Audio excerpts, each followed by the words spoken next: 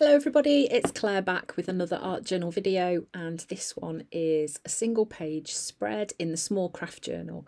Um, now, time I did this page I was in a bit of an arty slump or funk, I don't really know what to call it. Um, just kind of filled with a bit of self-doubt really and um, oh, just wanting to create but not really knowing what to do, which is crazy when I look at the amount of stuff that I've got that actually sometimes I get like that and kind of don't really know what to do. So I kind of thought I had a flick through my journals and found a page that I really liked and thought, you know what, I'm going to do something like that. So I'm just um, playing. I'm just adding some paint onto my paper, sticking some collage down and creating something.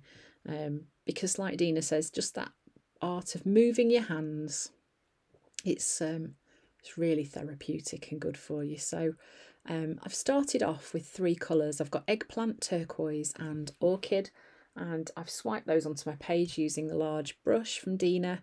Then I'm just adding some pieces of collage tissue paper over the top.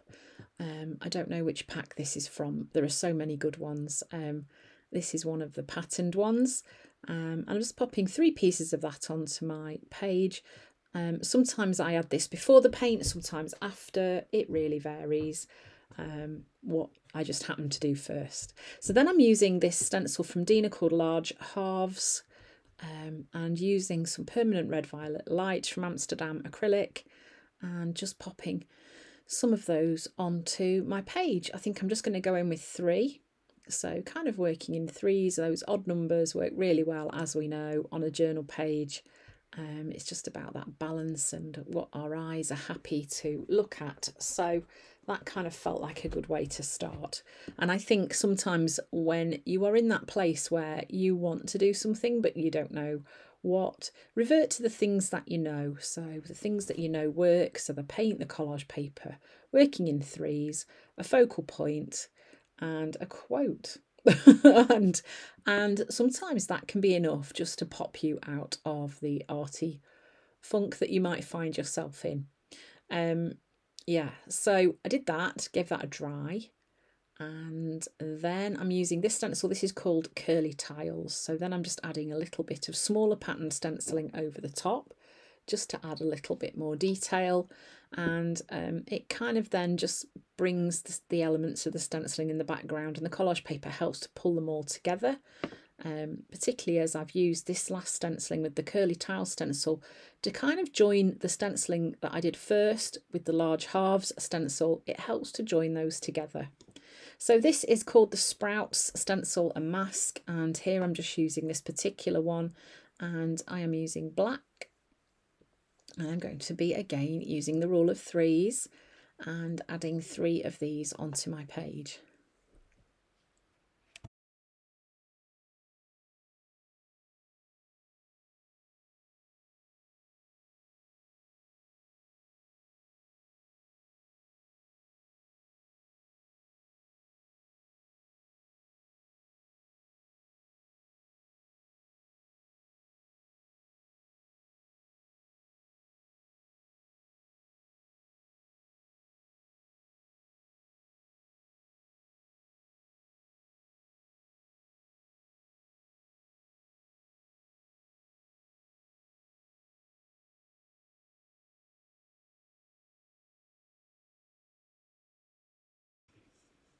So once that was done, as you can see at the bottom where those uh, stems join, I've just added a little bit more paint with the, my blending tool because it had a bit left on.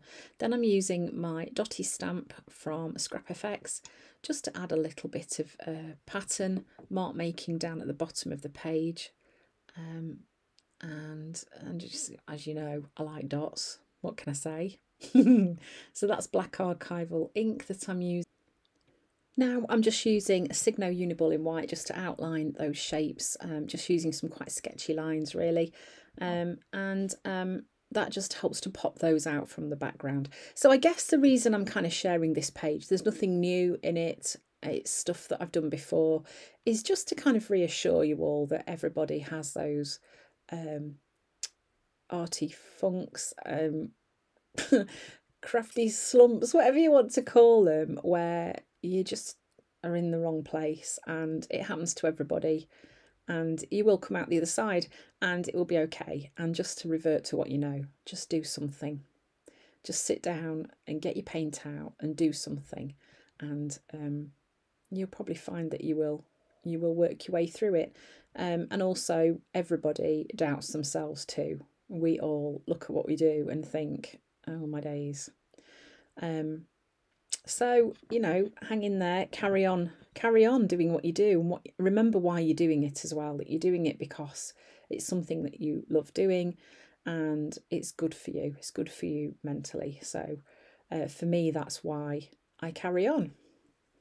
As well as the fact that I absolutely love art journaling. This is something I am so passionate about.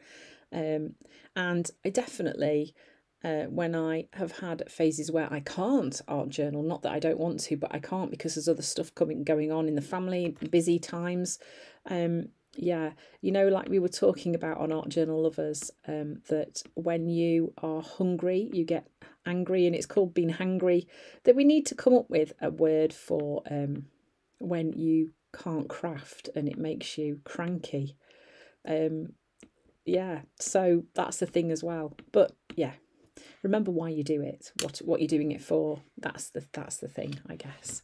Okay so once i've outlined those i've also added some little mark making dots um, where the stem meets the top of the flower shape. Then i'm using a large posca pen. And just going in adding some dots there too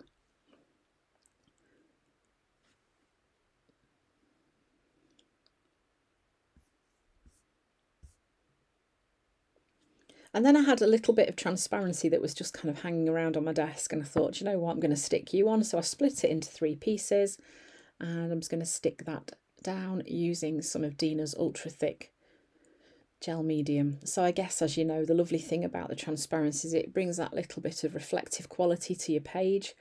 Um, and of course, mixed media art is all about mixing up those medias, isn't it? So different elements in there too uh, which just make your page more interesting.